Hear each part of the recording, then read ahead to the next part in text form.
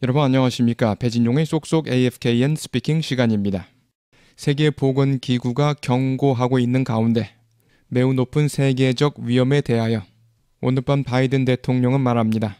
오미크론 코비드 변종은 우려의 원인이며 공포의 원인은 아니라고요. 우려의 원인, a cause for concern. 모모에 대해서 경고하다 또는 모모를 경고하다. warn of 뭐뭐. 모모하고 있는 가운데 with 분사구문을 써서 하시겠습니다.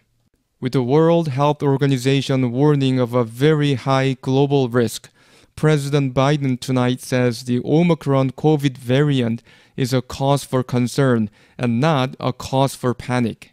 한 번 더요.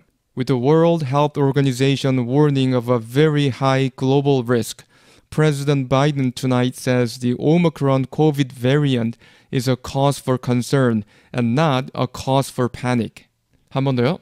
With the World Health Organization warning of a very high global risk, President Biden tonight says the Omicron COVID variant is a cause for concern and not a cause for panic.